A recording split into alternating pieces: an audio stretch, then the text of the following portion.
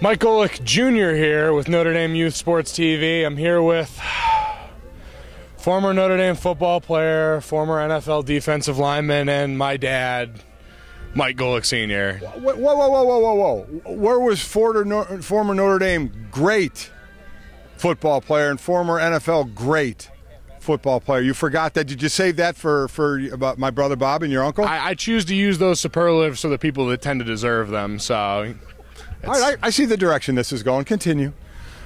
All right, well, Dad, I mean, obviously a regular on this campus since me and Jake have been here, and uh, back this weekend for uh, another familiar thing for you, dropping off another kid out here. Uh, talk about how that's going for you. It's going to be uh, sad, is what it's going to be. I, I certainly remember the years ago dropping you off and then seeing you run for the tunnel the first time, and then Jake doing the same thing. But with a daughter, it's always a little bit different. As, as uh, you know, hopefully you uh, will, will, find out later in life. Uh, it, it's definitely different for a daughter dropping her off. But I am dropping her off in good hands with you and with your brother Jake. So I, I wait a minute that may not be as good as I think. It's a scary, scary thought, us being left in, in, charge of her. For those who don't know, my younger sister Sydney is going to be a freshman on the swim team this fall. Is a product of the Notre Dame uh, youth sports swimming camp here for many years with Matt Tallman and them over there. So finally coming full circle for her, and now left in charge of me and Jake, which which could be scary and costly for you at the same time. It's already been costly. She's cost me more in high school than the both of you have cost me in college and ancillary uh, income that I've had to spend, without a doubt. But you know what?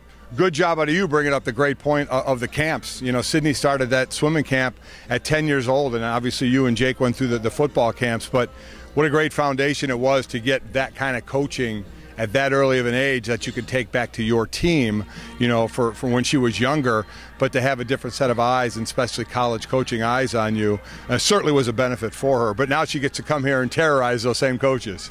Exactly. Should be a good time for uh, all parties involved. And now, obviously, speaking of the youth camps that you talked about, and you know, a lot of these videos are meant to go out and, and catch the eyes of young athletes out there. As someone who's you know been through it, and someone who's obviously raised kids through it, advice for parents and advice for uh, for kids themselves coming up on and off the field on on what it takes to really be successful and get the most out of uh, their athletic experience. Well, I think bringing the camps into it, and certainly whatever team they're on and whoever the coach is, and, and you know this, and when, when I say it, is, is fundamentals.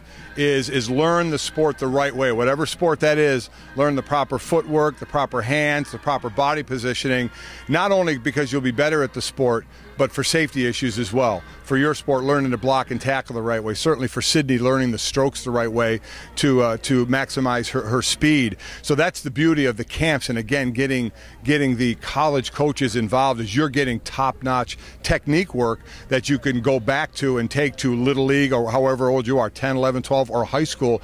You can use that, and I think that's that's the key. If you have a good foundation and a good base, can take you a lot of places. You heard it from the man himself, a guy who's you know, sent kids through it and done it on his own. Oh, oh no. boy. Oh. Thought that we was uh, my, my brother Bob and uh, Mike's uncle. He's I know it might have been tough to see. He was behind us because he's a lot shorter than we are, so I couldn't really see him. He gets a little jittery when Bob's coming around because usually he's used to getting cracked in the back of the head when Bob's in the picture. That's so younger brother syndrome. Yeah, that's it. There, there, there he is again.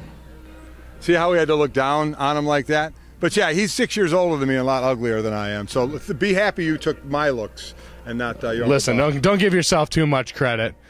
But uh, we appreciate your time out here. I will. I'm sure I'll see you for dinner later on you. Sounds good, as son. Always. Yeah, I'm buying as always. I'm good. Thank you. Live from Notre Dame Stadium for the fantasy football game and Notre Dame Youth Sports TV. I'm Mike Golic with Mike Golic.